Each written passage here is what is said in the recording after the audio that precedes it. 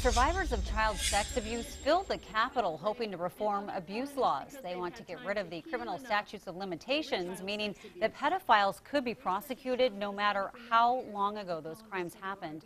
33 other states have already done this. Now, we talked with some of those survivors about why they often wait for decades before naming their abusers. Lisa Balick has their stories.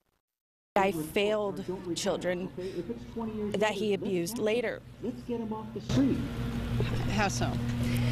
Because I didn't come forward early enough. Andrea Mills feels so guilty she didn't speak up when she and others were abused by a family member while growing up. It was just a skeleton in the closet that nobody talked about, and everybody knew it was happening, but nobody wanted to talk about it. Nobody wanted to deal with it. He was the main breadwinner, and we wouldn't have been able to survive without him. She escaped by going to live somewhere else. But now, years later, when she has her own family, it's too late for her to file charges against her abuser.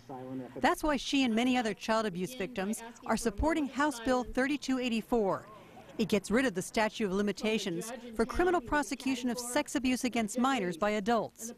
A big reason many who are abused wait until they're adults to speak up is fear. Just because kids speak out doesn't mean people believe them, and the laws are still going to stop it. You know, if you live in fear, even if you talk to your friends, you know, it doesn't always get pushed out there. And by the time it does, it might be too late. The bill faces a challenge from those who say it would allow people to be falsely accused. But supporters say there still has to be proof before someone faces criminal charges. The timing of this bill is significant.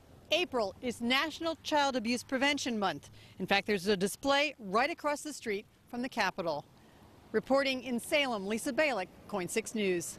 So now if the victims do get their way, that means sex abuse cases, no matter how old, could still be prosecuted. That could mean new trials and lawsuits for several high-profile cases in Portland.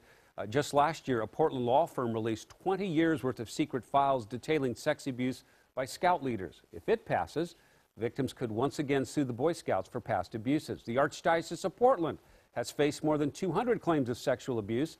Right now, the church is facing a lawsuit where a woman says a former uh, pastor at the Reedsport Parish of St. John abused her at least a dozen times when she was a teenager.